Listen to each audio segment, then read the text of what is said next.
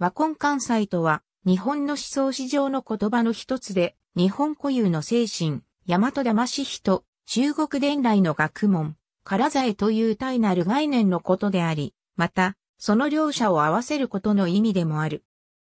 和根関西比、平安時代中期に成立した概念で、当時の支配階層であった貴族層が学問の基礎を、漢石の知識すなわち、唐ザに置いたのに対し、実生活における知識あるいは判断力、諸生術の類までを含めた行動、人柄を指して、大和魂と称した。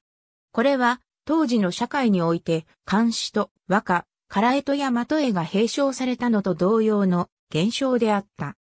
室町時代に作られた義書、関係会にて、菅原道真の時代よりも後世である現行の産物である新国思想の影響を受けて、和根関西の語が登場し、精神的な意味合いが強調されるようになる。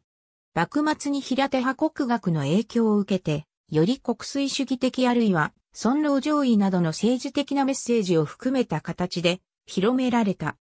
そして日清戦争で日本が感度の帝国成長に勝利したことにより、関西の概念は切り捨てられ、残されたは今大和魂が日本精神とともに軍国主義、国家主義を支える精神的なスローガンとして第二次世界大戦敗戦まで盛んに喧伝されることになる。ありがとうございます。